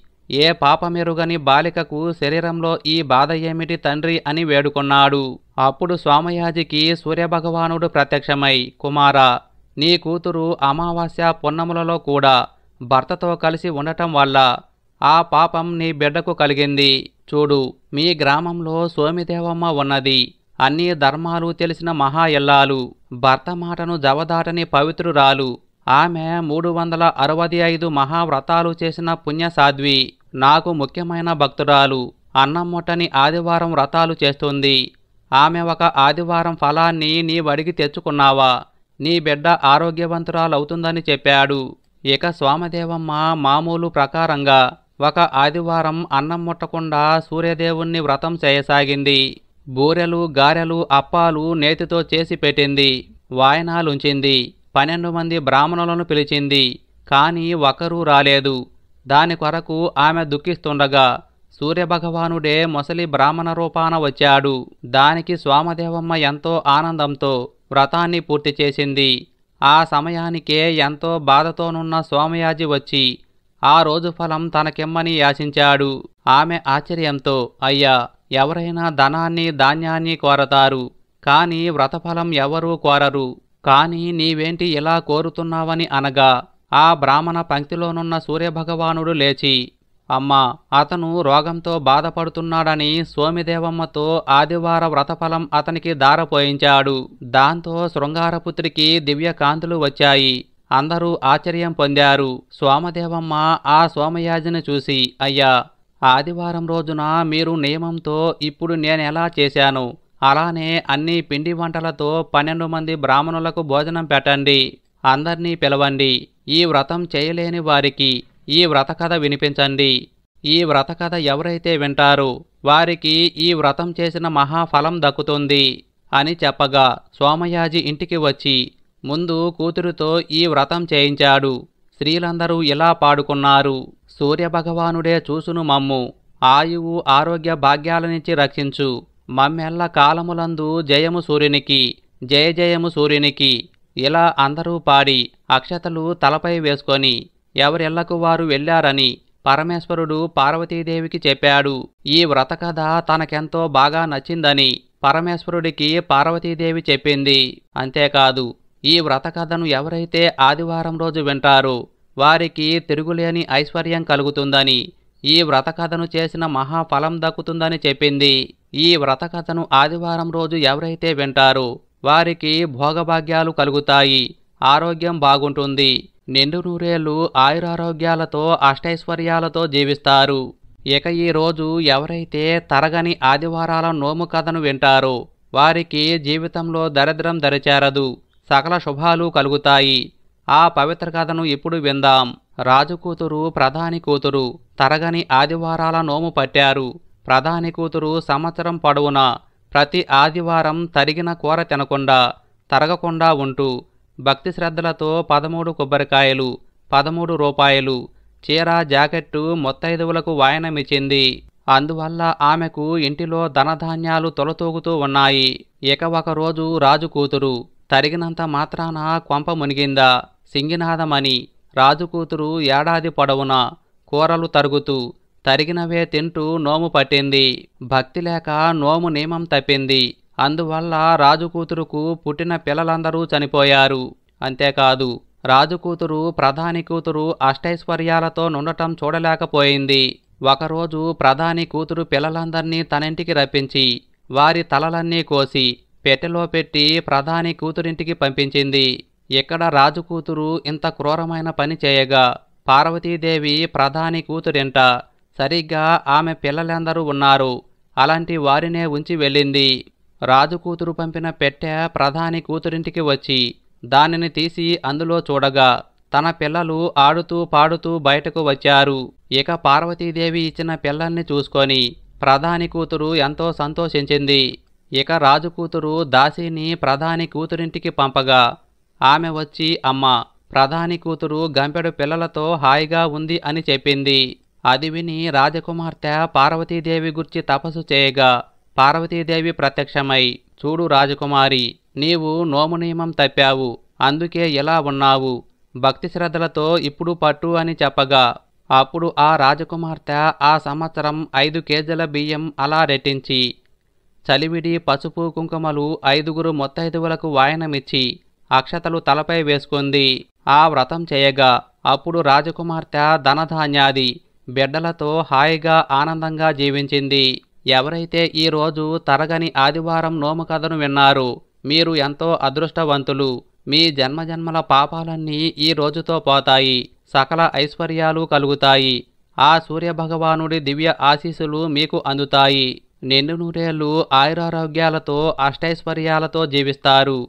సకల శుభాలు కలుగుతాయి. ఈ రోజు మనం పురాతనమైన భూదేవి కథను విందాం. భూదేవి కథ చాలా తక్కువ మందికి తెలుసు. ఈ కథను వినకపోతే మీరు మరణించిన తరువాత మీకు భూమి ఉండదు స్వర్గం ఉండదు. మీకు మీ తలరాతలో కూడా భూమి ఉండదు.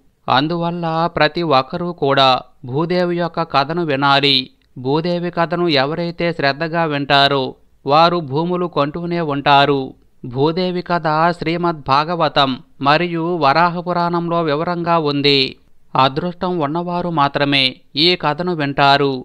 మరి భూదేవి కథను ఇప్పుడు విందాం. పూర్వం వేణుని రాజ్యపాలన భయాందోళనలుగా ఉండేది.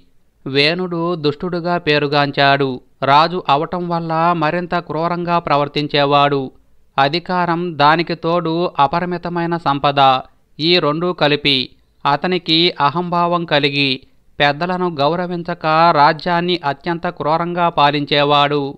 ఇక మంత్రులు ఋషుల దగ్గరకు వెళ్ళి చెప్పగా ఋషులు సహాయం చేయటానికి అంగీకరించారు. వారు వేణురాజు దగ్గరకు వెళ్ళి నాయనా నీ జీవితం నీ సంపద నీ పేరు ప్రఖ్యాతలు ప్రమాదంలో చిక్కుకొని ఉన్నాయి. కాబట్టి ధర్మంగా రాజ్యపాలన చెయ్యి. భగవంతుణ్ణి లక్ష్యపెట్టని రాజు నరకానికి పోతాడు. నీవు యజ్ఞాలు చేసి దైవాన్ని తృప్తిపరచాలి. నీవు అవి చేయుటలేదు సరికదా. యజ్ఞాలు దైవారాధన ఆపు చేశావు అని అనేక విధాలుగా చెప్పగా వేణుడు ఇలా అన్నాడు నేను కాదు మీరు అధర్మ మార్గంలో నడుస్తున్నారు మిమ్మల్ని రక్షించే నన్ను వదిలి నాకు బదులుగా వేరొక దైవాన్ని మీరు పూజిస్తున్నారు. మీరు నన్ను దైవంగా భావించి పూజించాలి. ఈ సత్యం తెలియకపోతే మీరే నరకానికి పోతారు. కాబట్టి సత్యాన్ని తెలుసుకొని నాకు హోమాలు పూజలు చేయండి. నన్ను తప్ప వేరే దైవాన్ని పూజించకూడదు. ఇది రాజద్రోహమని గట్టిగా పలికాడు వేణుడు. ఇక వేణుడి మాటలు విని ఋషులు దిగ్భ్రాంతి చెందారు. కొంతసేపు అతని వైపు చూసి ఈ దుర్మార్గుడు రాజుగా ఉన్నంత వరకు దేశ భవిష్యత్ బాగుపడదు. ఇంతవరకు నిగ్రహంగా ఉన్న ఋషులు వారిలో వారు చర్చించుకొని ఇతడు మరణించక తప్పదు. సాక్షాత్తు యజ్ఞేశ్వరుడైన నారాయణుడితో సమానంగా తనను భావిస్తున్నాడు. ఇది అత్యంత పాపం కనుక. వాడి గోతి వాడే తవ్వుకున్నాడు. ఇక వారు మనసులో మృత్యుదేవతను ఆహ్వానించగా మృత్యువు వచ్చి వేణుడి ప్రాణాలు తీసుకొని పోయింది. ఋషులు వారి ఆశ్రమానికి వారు వెళ్ళారు. ఇలా కొంతకాలం గడిచింది. దేశాన్ని పాలించు రాజు లేకపోవటం చేత ప్రజలను దోసుకొనుటకు ఇదే సమయమని భావించి బందిపోటు దొంగలు నగరంలో ప్రవేశించారు. ఒకరోజు సరస్వతి నదీ తీరమున ఋషులు కూర్చొని ఉండగా దూరంగా ధూళిమేఘాలు చూసిరి. వారు కుతూహలంతో దీనికి కారణమేమై ఉండును అని పరిశోధించారు. రాజు లేకపోవటం చేత నగరాన్ని దోచుకొని బందిపోటు దొంగలు గుర్రములపై తిరిగి వెలుట చేత దానివల్ల వచ్చిన ధూళి అని వారు కనుగొన్నారు. రాజ్యంలో రాజు లేకపోవట ఎంత కీడును కలిగించునో ఆ ఋషులు గ్రహించారు. ఈ పరిస్థితి కలుగుటకు కొంతవరకు తాము కూడా బాధ్యులమని విశ్వసించి ఆ రాజ్యంలోని ప్రజలను ఈ దౌర్భాగ్య స్థితి నుండి కాపాడాలని ఏదైనా చెయ్యాలని వారు తలచిరి. ఆ రాజ్యంలోని ప్రజలు దుర్మార్గుడైన వేణుని పరిపాలనలోను ఆ తరువాత బందిపోటు దొంగల చేత మిక్కిలి ఎక్కట్లు పాలయ్యారు. అంగరాజు భార్య సునీతకు తన కుమారుడైన వేణునిపై విశేషమైన ప్రేమ ఉండటం వల్ల అతని భౌతిక కాయము దహనపరచుటకు ఆమె అంగీకరించదని ఋషులకు తెలియను. ఆమెకున్న మాంత్రిక శక్తులచే తను ఔషధముల చేతను ఆ మృతదేహాన్ని కాపాడుతూ ఉండేది. ఇక ఋషులు ఆమె వద్దకు వెళ్ళి వేణుని మృత శరీరాన్ని ఇవ్వమని అడిగారు. ఇక ఋషులు ఆ మృతదేహాన్ని తీసుకొని ఋషులు ఆ మృతదేహమునంది తొడలను చిలకగా అందునుండి అనాకారిగా నల్లగా నుండు పురుషుడు ఉద్భవించాడు. ఆ పురుషుడు వేణునిలోని దుష్టత్వము మూర్తిభవించినట్లు ఉన్నాడు. అందుకని అతన్ని నిషాదుడను పేరుతో పిలుస్తూ ఉన్నారు. అతని వంశీయులు నిషాదులుగా పేరొందిరి. ఆ తరువాత ఋషులు మృతదేహము కుడిభుజమును మొదట చిలికి పిమ్మట ఎడం భుజాన్ని కూడా చిలికారు. వాని నుండి ఒక పురుషుడు ఒక స్త్రీ జన్మించిరి. వారు నారాయణుడు లక్ష్మీదేవి అవతారములు. వారిని ఋషులు పొగిడి ఎలా అన్నారు ఈ పురుషుడు పృథువు అనే పేరుతో ఈ స్త్రీ అర్శిస్సు అను పేరుతో వ్యవహరిస్తారు. వారు భార్యాభర్తలుగా జీవించి ఈ లోకంలో ప్రఖ్యాతి పొందుతారు. పృథు చక్రవర్తి అత్యంత వైభవంగా రాజ్యాన్ని పరిపాలిస్తాడు. పృథువు జన్మించినందుకు సంతోషించి బ్రహ్మాది దేవతలు ఈ గొప్ప సంఘటనను తిలకించుటకు భూమికి దిగి వచ్చారు. పృథువు జన్మించినప్పుడు స్వర్గంలో మేళతాళాలు మ్రోగెను. సిద్ధులు భూమిపై పుష్పవర్షం కురిపించిరి. భూమికి దిగి వచ్చిన బ్రహ్మ దేవతలు దేవర్షులు కొత్తగా పుట్టిన బాలుణ్ణి చూశారు. ఆ బాలుని కుడిచేయి పరీక్షించి బ్రహ్మ ఇలా అన్నాడు ఆహా! ఈ బాలుని చేతియందు చక్రము పాదములందు పద్మచిహ్నాలు కలవు. ఇతను నారాయణుడి అవతారంగా లోకాన్ని రక్షించటానికి వచ్చాడు. అలా పెరిగి పెద్దవాడై పృథువు పట్టాభిషిక్తుడయ్యాడు. రాజుగా పట్టాభిషిక్తుడైన పృథువును లోకరక్షకుడని దేవతలు పిలిచిరి. అతను ప్రజలు కృషించి మిక్కిలి నీరసించి ఉండుట చూసెను. వారికి సరియైన ఆహారము పోషణ లేక మిక్కిలి బాధతో నుండిరి. ఇక ఆ ప్రజలు రాజుతో ఇలా అన్నారు ప్రభు దయచేసి మాకు ఆహారాన్ని ప్రసాదించండి. త్వరలోనున్న అగ్నిచేత చెట్టు దగ్ధమైనట్లు. మేము ఆకలి అనే అగ్నిచేత మెల్లగా దహించుకుపోతున్నాము. మా ప్రధానాంగములు బాధపడటం చేత మేము పని చేయలేకపోతున్నాము. మాకు అన్నం పెట్టండి. పూర్వపు రాజు భుజములను ఋషులు చిలకగా మీరు జన్మించి మమ్ము రక్షించి ఉద్ధరిస్తారని విని ఉన్నాము. ఈ ఆకలి బాధ నుండి మమ్మల్ని రక్షించాలని ప్రార్థించారు. ఇక పృథు చక్రవర్తి ఒక క్షణం యోచించాడు. ఆరోగ్యాన్ని పోషణను ఇచ్చే ధాతువులను భూమి నమిలివేసిందని అవి తిరిగి మొలకెత్తకుండా చేస్తున్నదని రాజు గ్రహించాడు. ఈ కారణం చేత భూమిపై ఆగ్రహం చెంది శిక్షించాలనుకున్నాడు. తన విల్లు అందుకొని ఒక అమ్మును భూమికి గుచ్చుకొనున్నట్లుగా వదిలాను. ఇక భూమాత భయపడి గోరూపం ధరించి రాజు నుండి పారిపోయాను. తోకనెత్తి వణుకుతున్న కాళ్ళతో ఆ గోవు భూమి అంతటా పరిగెత్తింది. క్రోధంతో కనులు ఎర్రబడగా రాజు గోవును వెంబడించాడు. ఇక గోవు పర్వత సానువుల కిందకి వెళ్ళి లోయల్లో ప్రవేశించి అక్కడ నుండి దట్టమైన అడవిలో చొరబడి రాజు నుండి తప్పించుకొనుటకు ప్రయత్నించెను. కాని రాజు అలుపులేక గోవును వెంబడిస్తూనే ఉన్నాడు. ఎక్కడకు వెళ్ళినను? గోవు వెనుదుటికి చూస్తే రాజు తనను వెంబడిస్తూనే ఉన్నాడు. ఇక ఎవరు తనను రక్షించేవారు లేరని గోవు తెలుసుకుంది. చివరకు రాజు పాదములపై పడి ఎలా అంటుంది. గోవు రూపంలో ఉన్న భూదేవి ఇలా అంటుంది. దయచేసి నన్ను రక్షింపుము. నీవు ధర్మప్రభువు. ఈ విధంగా నా వంటి స్త్రీని వేధించుట తగదు. స్త్రీహత్య మహాపాపమని నీకు తెలియను. ఆమెలో దోషములున్నప్పటికీ చంపరాదు. నేను నీకు ఎలాంటి హాని చేయకపోయినప్పటికీ నన్నెందుకు చంపాలనుకుంటున్నావు? నన్ను చంపినట్లయితే నీ రాజ్యాన్ని ఎక్కడ ప్రతిష్ఠించుకోగలవు? అని అనగానే ఇక పృథు చక్రవర్తి ఎలా అన్నాడు భూమాత నీవు తప్పు మార్గంలోనున్నావు అందుకే నిన్ను శిక్షించాలనుకున్నాను. మానవులు చేయు యజ్ఞములలో హవిస్సులో నీకు భాగం ఇచ్చినప్పటికీ తిరిగి నీవు ఆహారం ఇచ్చుట లేదు. నీ విధిని నీవు నిర్వహించకపోవటం చేత నిన్ను శిక్షించవలసి ఉన్నది. గోవు రూపంలో గడ్డిని మేయుచున్నప్పటికీ పాలను పిదుకుట లేదు నీవు స్వార్థంతో ప్రవర్తిస్తున్నావు. నా పరిపాలనను నువ్వు ధైర్యంగా విస్మరిస్తున్నావు. చాలా కాలం కిందట బ్రహ్మ నీకిచ్చిన ఆరోగ్యదాయకమైన మూలికను నీలో ఇముర్చుకున్నావు నా ప్రజలు ఆకలితో బాధపడుతున్నారు. వారి ఆకలిని తీర్చి సముదాయించాలి. ఇతరుల శ్రేయస్సు గురించి ఆలోచించని వారిని మగవారినైనా ఆడవారినైనా సరే రాజు చంపవలసిందే.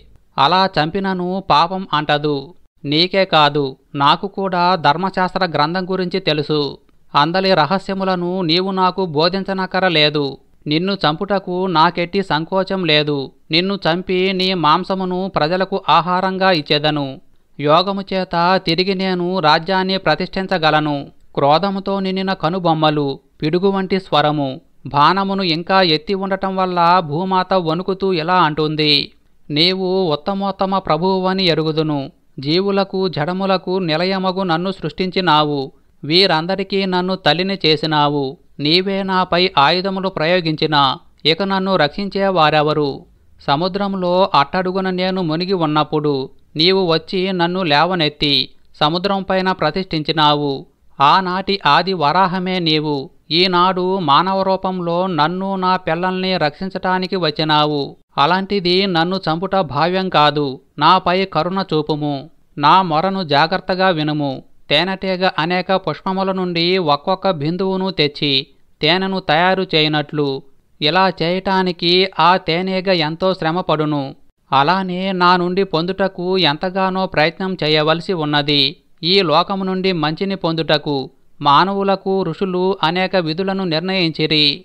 అనేక యాగములు కర్మలు పరలోక ప్రాప్తికై ఏర్పరిచిరి. సరి అయిన మార్గంలో నడిచి పూర్వులు నిర్ణయించిన విధులు శ్రద్ధతో పాటించిన వారు తప్పక లాభాన్ని పొందగలరు. ప్రజలందరూ ధర్మపరులైనప్పుడు ఋషులు నిర్దేశించిన వాణిని వారు చేస్తారు. కాని కాలక్రమములో వేణుని వంటి పాపాత్ములు నన్ను పాలించారు. అందువల్ల ఈ భూమిపై పాపం పెరిగిపోయింది. దొంగలు దుర్మార్గులైన రాజులు నన్ను వేధింపగా నన్ను రక్షించేవారు లేకపోయిరి. ఆ విధంగా ప్రతి ఒక్కరూ నన్ను విస్మరించుట చేత బ్రహ్మ కానుకలుగా ఇచ్చిన విలువైన మూలికలు ఇతర పోషక పదార్థాలు అనర్హుల చేతిలో దుర్వినియోగం చెందుతున్నాయని గ్రహించాను. ప్రజలు ఈ ధాతువులను మూలికలను ఇతర పదార్థాలను వినియోగించుటకు అనర్హులని తలచి వానిని నేను దిగమ్రింగాను నేను వాటిని దాచానన్న నీవు అన్నమాట సమంజసంగానే ఉంది. ఈ భూతలంపై అవి ఇక మొలకెత్తలేవు. ఇక నా నుండి ఉత్తమమైన వానిని బయటకు తెచ్చుట మీ చేతిలోనే ఉన్నది. నీవు సరి అయిన ప్రక్రియ చేత నాలోనున్న వాటినన్నింటినీ బయటకు తెప్పించగలవు. నేను పాలను పిదుకుటకు నాకొక దూడ నిమ్ము. నీవు సరి అయిన పాత్రనొక దానిని తెచ్చినచో అందు పాలను పిదకవచ్చును. పాలను పిదుకుటకు తగిన వ్యక్తిని చూడుము. అని భూమాత అంటుండగా పృథుమహారాజు వింటూ ఉన్నాడు. అతని చేతి నుండి అమ్ము భుజము నుండి అప్రయత్నంగా విల్లు జారి కింద పడెను. అతని నేత్రములు ఆలోచనాపూరితములయ్యను. ఇక పృథు చక్రవర్తి భూమాతతో ఇలా అన్నాడు భూదేవి నీవు పలికినది సమంజసంగానే ఉన్నది. నీ నుండి ఎక్కువ లాభాన్ని పొందుట నా కర్తవ్యమై ఉన్నది. మానవుడు కృషి చేయవలెను. నిన్ను దున్ని విత్తనాలు నాటి. మొక్క అయిన తర్వాత పోషించవలసి ఉన్నది. స్వర్గవాసులు ఆయా ఋతువులలో వర్షాలు కురిపించగా మానవుల కృషికి నీవు తగిన ఫలితాన్ని ఇస్తావు. నీ విలువను మానవులు విస్మరించిరి. భూదేవి ఓర్పు అనే నానుడి చిరకాలంగా వాడుకలోనున్నది. అలాంటి నీకే ఓర్పు నశించిపోయిందంటే ఈ లోకంలో ఎంత పాపం పెరిగిపోయిందో అర్థమవుతుంది. విచారించవద్దు. నేను అంతా సరిచేస్తాను. ఇక చాలాసేపు తనలో తాను ఆలోచించి మనువును దూడగా చేసి తాను స్వయంగా పాలు పిదుకుటకు నిశ్చయించుకున్నాడు భూమాత నుండి ఆమెలో దాగి ఉన్న మూలికలు విలువైన ధాతువులను తన ప్రజల ఉపయోగార్థం పిండసాగాడు. ప్రతి ఒక్కరితో సరి అయిన దూడ పిదుకువాడు ఉన్నచో ఆమె నుండి వారు కోరిన దాన్ని పొందవచ్చునని చెప్పాను. జ్ఞానులు ఆమె నుండి జ్ఞానాన్ని పిదికిరి బృహస్పతిని దూడగా చేసి ఋషులు వేదములనేటటువంటి క్షీరాన్ని పిండసాగారు. ఈ క్షీరమునుంచుటకు వాక్కు శ్రవణము మనస్సుతో చేసిన పాత్ర వినియోగించిరి. ఇక దేవతలు ఇంద్రుణ్ణి దూడగా నొనర్చి ఒక బంగారు పాత్రలో ఆమె నుండి అమృతాన్ని వీర్యము ఓజస్సు బలము పిండిరి. ఇక దైత్యులు దానవులు ప్రహ్లాదుణ్ణి దూడగా చేసి ఒక ఇనుప పాత్రలో సుర ఆసవములను నింపిరి. ఇక గంధర్వులు అప్సరసలతో కలిసి విశ్వావసువును దూడగా చేసి పెదుకగా పద్మములతో చేసిన పాత్రయందు సంగీతమనే క్షీరం లభించింది.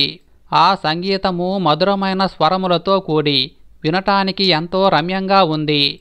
ఇక పితృదేవతలు అర్యముని దూడగా చేసి పెదుకగా కాల్చని మట్టి పాత్రలో గుర్రములకు ఆహారమైన గవ్యము లభించెను. కపిలుణ్ణి దూడగా చేసి సిద్ధులు భూమి నుండి అనిమాది సిద్ధులు గ్రహించిరి.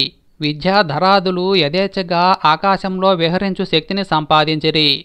కింపురుషులు మయుని దూడగా చేసి మాయ అనే క్షీరమును పిదికిరి.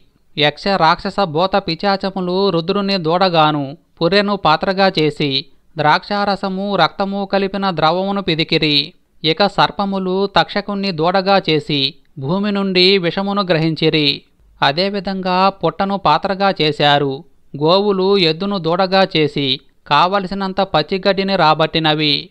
ఇక వృక్షములు రావి చెట్టును దూడగా చేసి ప్రాణాధారమైన రసమును భూమి నుండి గ్రహించినవి. హిమవంతుణ్ణి దూడగా చేసి పర్వతములు భూమి నుండి శంఖములు ఇతర విలువైన వస్తువులు లభించుకొనెను. భూమాత నుండి ప్రతి ఒక్కరూ వారికి కావలసిన వాణిని పొందిరి. వారు వారిలో ఉత్తముణ్ణి దూడగా వినియోగించిరి. ఇక భూమాత సమృద్ధిగా అందరికీ ఇచ్చిన కానుకలకు పృథు చక్రవర్తి సంతోషించి ఆమెను తన ప్రియపుత్రికగా స్వీకరించాడు. అప్పటి నుండి భూమాత పృథ్వీ అను పేరు పొందెను. తన వింటి కొప్పుతో పర్వత శిఖరాగ్రభాగమును పగలగొట్టి ఆ మట్టితో భూమిలోని బొరియలను పూడ్చి సమతలంగా ఉండునట్లు చేసెను. ఇలా ప్రజల హృదయాలను చూరగొన్న మొట్టమొదటి రాజు పృథు చక్రవర్తి. ప్రతి ఒక్కరూ కూడా భూదేవి యొక్క కథను వినాలి. ఈ కథను వరాహ పురాణం నుండి తీసుకోవటం జరిగింది.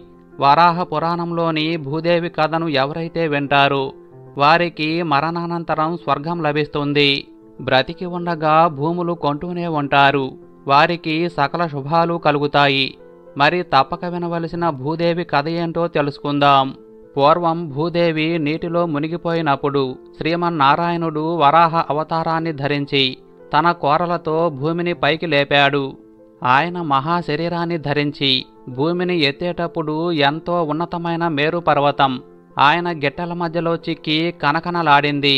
అలా క్రమంగా భూదేవి ఉద్ధరింపబడిన తరువాత ఒకనాడు బ్రహ్మమానస పుత్రుడైన సనత్కుమారుడు భూదేవి దగ్గరకు వెళ్ళి ఇలా అన్నాడు అమ్మా శ్రీ మహావిష్ణువు నిన్ను ఉద్ధరిస్తున్నప్పుడు నీవు చూసిన అద్భుతాలు వర్ణించు తల్లి అని కోరాడు.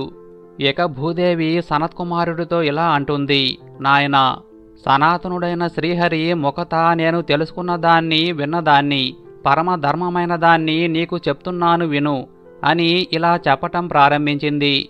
పూర్వం భారం పెరిగిపోగా నేను నదులు పర్వతాలు సముద్రాలతో సహా పూర్తిగా నీటిలో మునిగిపోయాను. నీళ్ళలో ఉండిపోయిన నాకు ఏమీ దిక్కుతోచలేదు ఆ నీళ్ళలో ఉండటం వల్ల నక్షత్రాలు గ్రహాలు సూర్యచంద్రులు ఏమీ కనపడటం లేదు. ఇక ఏం చెయ్యాలో నాకు తోచలేదు. ఎవరు నన్ను ఉద్ధరిస్తారో తెలియటం లేదు. అలా కొంతకాలం గడిపాను. కొన్నాళ్ళ తరువాత శక్తి తెచ్చుకొని రూపాన్ని ధరించి సరాసరి బ్రహ్మలోకానికి వెళ్ళాను. బ్రహ్మదేవుడి దగ్గరకు వెళ్ళి ఆయనతో ఇలా అన్నాను పితామహ నీవే నాకు దిక్కు. నేను పూర్తిగా నీళ్ళలో మునిగిపోయాను. నాకేం చెయ్యాలో తెలియటం లేదు. అంతా లోపల చీకటిగా ఉంది. దయచేసి నన్ను ఉద్ధరించు అని ప్రార్థించాను. నా ప్రార్థన విన్న బ్రహ్మ ఒక క్షణం ధ్యానంలోకి వెళ్ళి నాతో ఇలా అన్నాడు దేవి నిన్ను ఉద్ధరించే శక్తి నాకు లేదు. సకల లోకాలకి ప్రభువు అందరికీ కర్త లోకేశుడు మాయాశక్తి సంపన్నుడు అయిన శ్రీహరిని శరణు వేడుకో. ఆయనే నిన్ను ఉద్ధరించగల సమర్థుడు అని చెప్పాడు. నేను సరాసరి బ్రహ్మలోకం నుండి వైకుంఠానికి వెళ్ళాను. అక్కడ శేషపాన్పు మీద శ్రీహరి యోగ నిద్రలో ఉన్నారు. ఆయనకు చేతులు జోడించి ఇలా అన్నాను ప్రభు నేను నా బరువుని మోయలేక నీళ్ళలోకి పడిపోయాను. బ్రహ్మ దగ్గరికి రక్షించమని వెళితే ఆయన నీ దగ్గరకు వెళ్ళమని చెప్పారు. లోకనాథ జనార్దన నన్ను దయచేసి నీళ్ళలో నుంచి ఉద్ధరించు అని ఇలా దీనంగా ప్రార్థించాను. నా స్తోత్రాన్ని విన్న శ్రీహరి ఎంతో సంతోషించి వెంటనే వరాహ అవతారాన్ని ధరించి నన్ను ఉద్ధరించాడు. ఎంతో గొప్ప దయామయుడైన శ్రీహరి దయ వల్ల నేనీనాడు ఇంత ఆనందంగా ఉన్నాను. ఆయన నన్ను ఉద్ధరిస్తున్నప్పుడు ఎన్నో అద్భుతాలు చూశాను. ఆయన శక్తి సామర్థ్యాలు నాకెంతో ఆశ్చర్యం కలిగించాయి.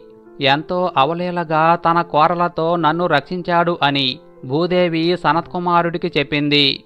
అంతేకాదు సనత్కుమార పూర్వం మహాబలవంతుడైన వరాహమూర్తి అత్యంత విశాలమైన తన శరీరంతో పర్వతాలు నదులు సముద్రాలతో కూడిన భూమండలాన్నంతా తన కోర అంచుతో ఒక మట్టిపెడ్డలా పైకెత్తాడు. అంతేకాదు ఆయన వివిధ అవతారాలు ధరించి కంసుడు మురుడు నరకుడు రావణుడు అనే రాక్షసుల్ని తొదముట్టించాడు. సంసారమనే సముద్రం భయంకరమైన చావు వార్ధక్యం రోగమనే మొసళ్ళతో అలలతో నిండి ఉంటుంది అలాంటి సంసారం ఎంతో భయానకమైంది. తన భక్తుల్ని ఆ సంసార భయం నుండి దూరం చేసేవాడు. ముర నరక రావణాది అసురుల్ని హతమార్చినవాడు వరాహ రూపాన్ని ధరించినవాడు స్వర్గలోకాధిపతి అయినవాడు భూదేవి నాథుడు శత్రువుల్ని అవలేలగా అంతం చేసేవాడు. ఆ శ్రీ మహావిష్ణువు ఒక్కడే అని సనత్కుమారుడికి చెప్పింది. ఇక ఈ విధంగా పూర్వం తనను ఉద్ధరించిన వరాహమూర్తికి భూదేవి భక్తిగా నమస్కరించి ఇలా అడిగింది ప్రభు ప్రతి కల్పంలో ఎంతో దయతో నన్ను నీవు ఉద్ధరిస్తున్నావు చాలా సంతోషం. అయితే స్వామి నేను నీ మొదటి రూపం ఎలాంటిదో నీవు చేసిన తొలి సృష్టి ఎలాంటిదో తెలుసుకోలేకపోయాను. పూర్వం హైగ్రీవాసరుడు వేదాల్ని అపహరించినప్పుడు నీవు మత్స్యావతారాన్ని ధరించి రసాతలంలోనికి వెళ్ళి ఆ వేదాల్ని పైకి తెచ్చి బ్రహ్మకు ఇచ్చావు. ఆ తరువాత దేవదానవులు సముద్రాన్ని మదించినప్పుడు నీవు తాబేలు రూపాన్ని ధరించి మందర పర్వతాన్ని పైకెత్తి ఆ సాగరమదనం నిర్విఘ్నంగా కొనసాగేలా చేశావు. ఇంకో కల్పంలో భూదేవునైన నేను రసాతలంలోకి జారిపోతూ ఉంటే నీవు వరాహ రూపాన్ని ధరించి ఒక్క కోరతో నన్ను పైకెత్తి రక్షించావు. దేవా ఇలా నీ లీలలు ఎన్నో ఉన్నాయి. అయితే వాటి అంతరార్థాన్ని నేను ఏ కొంచెం కూడా తెలుసుకోలేకపోతున్నాను. స్వామి అసలు ఈ సృష్టి అంతా ఎవరి చేత నాశనం చేయబడుతుంది? ఎవరి ద్వారా రక్షింపబడుతుంది? నన్ను ఉద్ధరించిన తరువాత తిరిగి ఈ విశ్వాన్ని నీవు ఎలా సృష్టిస్తావు? ఎలా దాన్ని పాలిస్తావు? ఏ కారణంతో ఈ సృష్టిని నీవు రక్షిస్తున్నావు స్వామి? అసలు నిన్ను చేరుకునే మార్గమేది? అసలు ఈ సృష్టికి మొదలు ఏది? ఇది ఎలా ఎప్పుడు అంతమవుతుంది? మహాప్రభు దయచేసి నా సందేహాలన్నీ తీర్చి నన్ను ధన్యురాల్ని చేయండి ప్రభు అని అంటుంది. భూదేవి ప్రార్థన విన్న వరాహమూర్తి ఒక్కసారి నోరు తెరిచి గట్టిగా నవ్వటం ప్రారంభించాడు. అలా నవ్వుతున్న ఆయన కడుపులో భూదేవికి ఏకాదశ రుద్రులు అష్టవసువులు సిద్ధులు మహర్షులు దర్శనమిచ్చారు. ఇంకా సూర్యచంద్రులతో గ్రహాలతో కూడిన సమస్త లోకాలు తమ తమ ధర్మాల్ని చూసిన భూదేవి ఒక్కసారి ఆశ్చర్యంతో భయంతో నిలువెల్లా వణికిపోయింది. వరాహమూర్తి నవ్వటం ఆపి కొద్దిసేపటి తర్వాత మరోసారి తన నోటిని తెరిచాడు. అప్పుడు నాలుగు భుజాలు కలిగి మహాసముద్రం మీద నిద్రిస్తున్న విష్ణుమూర్తి భూదేవికి కనిపించాడు. శేషపాన్పు మీద నిద్రించిన ఆ మహావిష్ణువుతో పాటు ఆయన బొడ్డు నుండి ఉద్భవించిన తామర పువ్వులో కొలువున్న బ్రహ్మను కూడా చూసింది. ఒక్కసారిగా ఆమెకు ఆనందం కలిగి వారిని స్థుతించింది ఇక భూదేవి ఇలా అంటుంది దేవా నీకు నమస్కారం. స్వామి నేను నిన్ను శరణు వేడుకుంటున్నాను. ఏ పాపం ఎరుగని స్త్రీనైనా నన్ను కాపాడు. ఓ జనార్దన నిలువెల్లా నల్లని కాటుకొల్లాంటి ఆకాశం కలిగిన నీ దివ్య వరాహ రూపాన్ని నీ శరీరంలో నాకు కనిపించిన జగత్తును చూసి ఎంతో భయపడ్డాను. ఎప్పటికీ నాకు భయం తగ్గలేదు. నాదా దయచేసి నా భయాన్ని పోగొట్టు అని దీనంగా ప్రార్థించి ఆ తరువాత శ్రీహరిని వివిధ నామాలతో స్తుతించింది. భూదేవి చేసిన స్థుతిని విన్న వరాహమూర్తి ఎంతో సంతోషించి ఆమెతో ఇలా అన్నాడు దేవి నీ ప్రశ్నలు చాలా యుక్తమైనవి. ఇలాంటి ప్రశ్నలు సందేహాలు అందరికీ కలగవు. నీవు నన్ను అడిగిన సందేహాలన్నీ పురాణాలకు సంబంధించిన విషయాలు. అవి శాస్త్రజ్ఞానంతో చెప్పదగినవి. వాటినిప్పుడు చెప్తున్నాను విను అని ఇలా చెప్పటం ప్రారంభించాడు. ఓ భూదేవి పురాణాలన్నింటికీ ఒక సామాన్య లక్షణం ఉంటుంది. ఆ లక్షణం మొత్తం ఐదు విభాగాలుగా చెప్పబడింది. సృష్టి లయం వంశం మన్వంతరం రాజవంశాల చరిత్ర అనే ఐదు లక్షణాలతో కూడుకున్నదే పురాణం. ప్రారంభంలో నేను ఆద్యంతాలు లేని ఆకాశ స్వరూపుడిగా ఉన్నాను. ఆ తరువాత అణువు అనేది ఏర్పడింది. అణువు తరువాత నా నుండి బుద్ధి అనేది ఆవిర్భవించింది. అణువు రూపంలో ఉన్న ఆ బుద్ధి సత్వం రజస్సు తపస్సు అనే మూడు తత్వాలుగా మారింది. వాటినే త్రిగుణాలంటారు. ఆ మూడు గుణాల సముదాయంలో నేను మహత్ అనే వాడుగా ఉంటున్నాను. సర్వాన్ని తెలిసిన వాళ్ళలో నేను మొదటి వాడిని. నా నుండి క్షేత్రజ్ఞుడు అనేవాడు ఆవిర్భవించాడు. తిరిగి ఆ క్షేత్రజ్ఞు నుండి బుద్ధి రూపొందింది.